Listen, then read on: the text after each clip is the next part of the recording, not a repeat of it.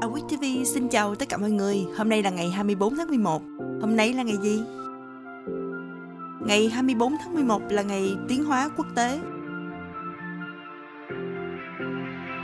Ngày sinh của ai?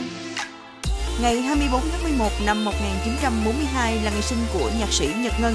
Ông nổi danh trong làng nhạc miền Nam Việt Nam vào thập niên năm 1960 với bản nhạc đầu tay Tôi đưa em sang sông, đồng tác giả Y Vũ. Tiếp sau đó, ông thành công với đề tài người lính với những bài hát như Mùa xuân của mẹ, Xuân này con không về, Qua cơn mê và Một mai giả từ vũ khí. Ngày mất của ai? Vào ngày này năm 1916 là ngày mất của Hiram Maxim, một kỹ sư người Mỹ gốc Anh. Ông là người phát minh ra súng Maxim. Cũng vào ngày này năm 1982 là ngày mất của Barack Obama senior một nhà kinh tế học và học thuật người Kenya. Ông là cha của Tổng thống thứ 44 của Hoa Kỳ Barack Obama.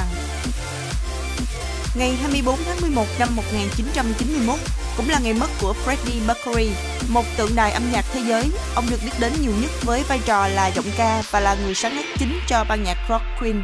Mercury nổi tiếng với phong cách trình diễn hào hoa trên sân khấu.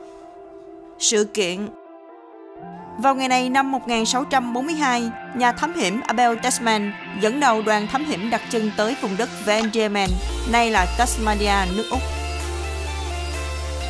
Jack Darwin xuất bản bộ công trình nghiên cứu về nguồn gốc các loài vào ngày 24 tháng 11 năm 1859.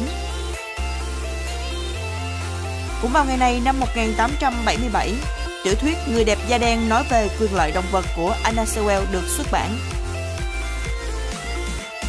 24 tháng 11 năm 1947, máy bay ném bom chiến đấu Grumman F-9F Panther thực hiện chuyến bay đầu tiên. Đây là kiểu máy bay được Hải quân và Thủy quân lục chiến Hoa Kỳ sử dụng rộng rãi trong chiến tranh Triều Tiên.